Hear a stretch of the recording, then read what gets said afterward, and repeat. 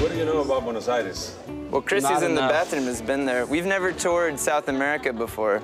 I have a lot of um, fans in Twitter, and they asked me for you one day. We were we were talking about music, Yeah? Oh, yeah? we, and uh, some some of my uh, followers were mentioning you guys That's great. from Venezuela. So I think that you have a lot of fans in Venezuela. That's awesome.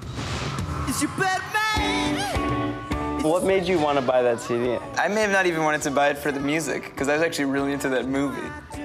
I think when I saw I had the a poster of that movie. I had a poster of that movie too, and, and also I even had a hat. Wait, did you actually like the movie when, once you saw it, or was it just the build-up? No, no, I think I liked the movie, and I probably bought the soundtrack afterwards. And then later, it was like a gateway to learn about all sorts of cool stuff. Wu-Tang, Flaming Lips, SoCal Punk from The Offspring, Earlier Seal. earlier Seal. I mean, most people consider that the greatest soundtrack of all time, so. Not a bad first buy, if I do say so myself. So are you planning to go to um, South America someday? Hopefully next year. tour? 2011. We would really love to. Definitely. Do you know where already? We'll probably play, I bet, in Chile, Argentina, Brazil. The only part of Latin America we ever toured is Mexico, but that was great. It's amazing. We love Latin culture, Latin music. Any chance that you would speak in Spanish or have your songs translated ever? We, I would, I would like to. We didn't. Uh, Chris studied Spanish a little, bit. A little bit. I haven't Hola, Chris, spoken ¿cómo estás? Bueno. ¿Y tú? Bien, bien, Bien, bien. Bien, ¿y tú? Muy It's bien, muy been bien. uh, eight You didn't pass the good. test. Forget it. Come keep, on, keep talking here. it. Spanish is my number one language that I would like to learn. Sadly, I, I pretty much only speak English. But you know, obviously, in America, Latin culture is very prevalent. You guys know that, right? Yeah, of course.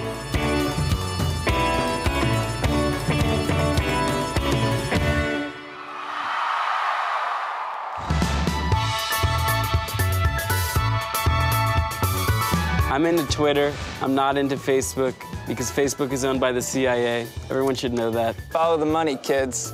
Follow the money. F- Always follow the money. Drop some knowledge on you. Actually, all three of us are on. All three of us are on Twitter. And Chris, is still in the bathroom, this is getting. This is frankly set it up getting a little ridiculous. I'm li- actually. Can we get an intern to go just knock on the door, just ask if he's okay? He's not on Twitter, which may maybe has something to do with his uh, his recent problems.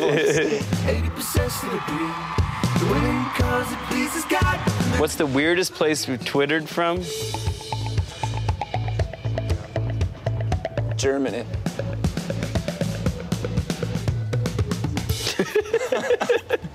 That's true. That's not a joke. Germany. How old are you guys? Like, you look 25, 26. Actually, it's his birthday tomorrow. Oh, it is? Yeah. Believe it. 26. It's good. You still look like you're like 16. So Thank that's you. Cool. It's getting closer to retirement age. 29. 29, that's when you're cutting it off. Gotta walk away. There's a fourth person. Yeah, he's still in the bathroom.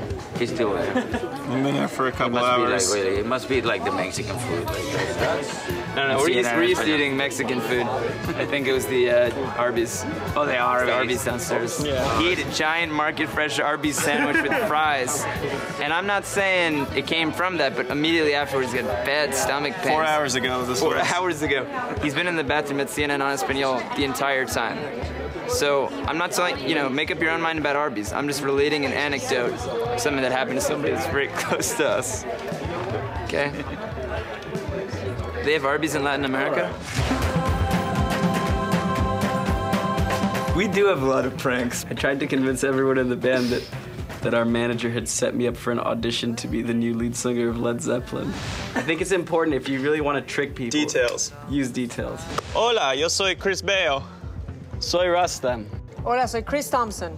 Soy Ezra. Y somos Vampire Weekend. Y ya volvemos con Boombox All Access.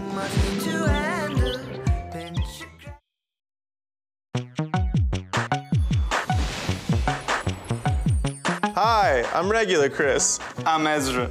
I'm Bathroom Chris, And I'm Rostam. And we're Vampire Weekend. and you're watching Boombox All Access.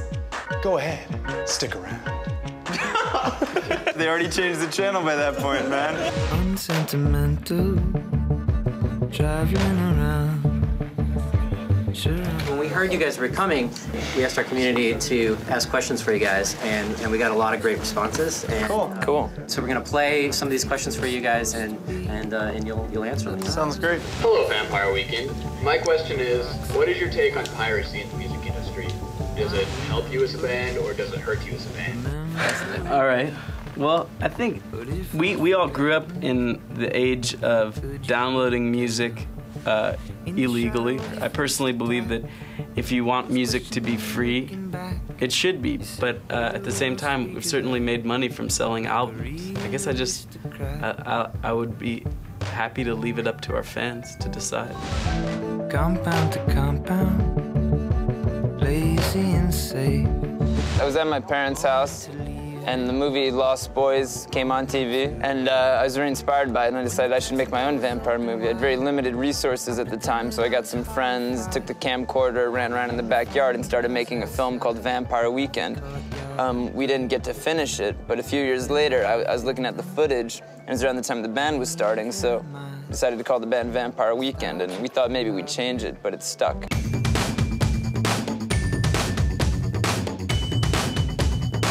Hey guys, my name's Demi. Um, your music always seems to have some sort of, you know, underlying sexual theme behind it. And I was wondering, is that intentional or is that just is that just how my mind perceives it? I think sometimes the lyrics are ambiguous, but sometimes there have been like maybe a tiny bit more specific references to sex. And almost every pop song is about sex, but then like sometimes in like country music they say you know making love or like spending the night together and you know we're so used to hearing songs that use euphemisms for sex that you kind of like forget what they're actually talking about you know it's, it's- people use the word love a lot when they mean sex which uh, could be confusing for a teenager i think maybe you should just be more clear about it Well, I think also a, a lot of the lyrics mention sleeping with someone, which, you know, that can be sex. Sometimes just sleeping next to someone can be better than sex, so. yeah spooning is really blown up in the best of Spooning, yeah. you want to weigh in on this Yeah, spooning's awesome. On tour, whatever, on the bus. It's really nice. We don't speak Spanish, but he does. I really, that was one of the most embarrassing moments of my entire life when I said bueno instead of bien. and I don't know if I'm ever gonna be able to recover from that. He was, he made me so nervous. I heard you guys killed it though. You really killed it over at CNN Espanol. We had a good time. We made some friends. It was nice. when i met carolina escobar was my favorite part That was my favorite part too. When I was in high school, I used to have a picture of her in my locker, stuff like that. So it was pretty cool to meet her in person. Do you guys have time for one more question? Sure. As long as it's about spooning. I think we'll go with uh, Gabby from San Francisco. Hi, I'm Gabby. I have a three-part question. The first part is, do you prank each other? The second part is, uh, what's the biggest prank that has been pulled? And the third part is, who's the biggest prankster? Thank you. Bye.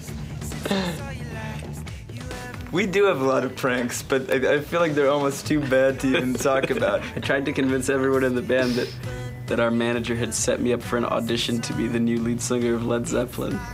And it all but that's, that's true. Not well. I don't think I was there when it happened, but you convinced Chris and CT was in the bathroom that you've been on uh, Family Ties. that I had an alias named uh, Ralphie, Ralphie Com- Compton, Ralphie yeah. Compton, and that I'd been on uh, Family Ties, and, and I had a vivid memory of Michael Jack, or not Michael Jackson, Michael J. Fox. Michael J. Fox uh, comforting me when I was nervous about shooting and giving me a Coke.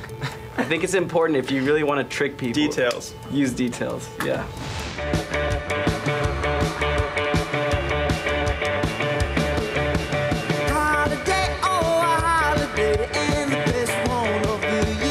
Did a major interview about soccer. With who? Aisha Sishay. Yeah, she's a woman from Atlanta. Who's she rooting for in the World Cup 2000? I don't know, but she seemed to think that America was in the World Cup. True story. You're Chris Tomson. I'm Chris Tomson. I'm Chris Tomson. Are we doing it in English? Yeah, let's In do it. English. Okay. But then we'll do it in Spanish. So everybody's Chris Tomson, or No, no, no. I'm Chris Tomson. Okay. Well, if you want to make your own movie, don't worry about if the special effects are good. In the original Vampire Weekend, all the vampires were, were werewolf masks, because that's all that we had. It was somewhat confusing, I think, for the viewers, but you know what? That's how we wanted it to be. Me? I have to say all that? 28 years, you said. Oh my God. Let's do No. it. Do you need a Say it refresher? No, no, wait a second. No.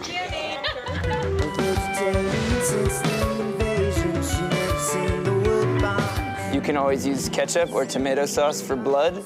You don't have to use real blood. Um, for sound effects, you could, you know, get a couple friends to make sound effects. You know, you don't have to pay them. Pretty soon, you put it on YouTube. That's free. Um, and next thing you know, you got an avatar on your hands. Boom. Box. Box. All access. All access. Okay. Only on Boomerang. Only on Boomerang. I've been doing this for 28 years with a prompter. That's the problem. Okay, all right.